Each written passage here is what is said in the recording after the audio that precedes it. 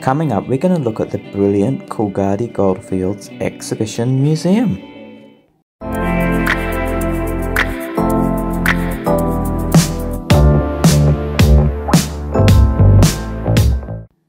Welcome back to Finding G Spots. Well, Iris and I, a few weeks ago, we drove down to Coolgardie, and Coolgardie is a small town which is only about half an hour or so drive west of Kalgoorlie.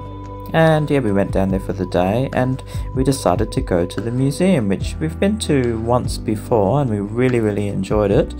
And it's definitely a highly recommended. So the Goldfields and the Wheat Belt have some fabulous museums and Coolgardie is no exception.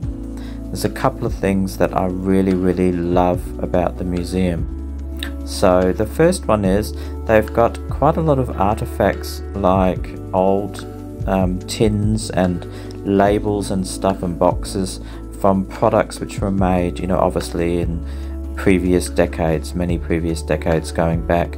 And I really, really like um, the displays that they've done there for that and the imagination and the colour which went into some of the labels. And it's a bit sad that you don't see that these days. It seems to be a bit generic and, and so on, the things you see these days, and lots of plastic. Um, so here, here's some footage here you can see of some of the beautiful colour and imagination, like I said, which went into making some of them, some very recognisable products, some which are still going even to this day. So they've obviously been around for decades, possibly even a hundred years or more. Um, so that's definitely something very interesting. Now the second thing is this amazing bottle collection. I run out of superlatives of what I can say about it. It is just a stupendous, magnificent collection. I've never seen anything quite like it in all my travels. There is hundreds, probably thousands of bottles here on display, and they're in little groups. Um, some are grouped into colours, some are like grouped together like they're beer bottles, um, and so on. And some of them are like very small, and some of them are quite large. And you've got some quite exotic ones like this violin one there, violin bottle and it was put together by May and Frank Raghorn, who obviously donated the bottles or they're on loan to the museum, I'm not quite sure, but it's an absolutely exquisite collection and, and well worth going just for that, to be honest. I mean, I'm not even that interested in bottles, but I was absolutely amazed by the collection.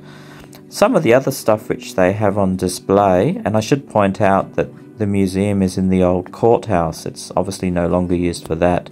So you can see here they've got some old products like keys, metal plates, some old combs and buttons and things like that. Here you can see some of the courthouse so you can get an idea of what it must have been like many many years ago when it was used for that purpose with these beautiful windows. You can see the gallery there even the ceiling. It's just you know, a very nice location.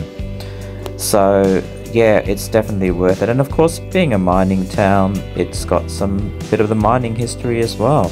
So yeah, if you get a chance, I definitely highly recommend you make the trip to Coolgardie and check it out, even if it's just for that amazing bottle collection.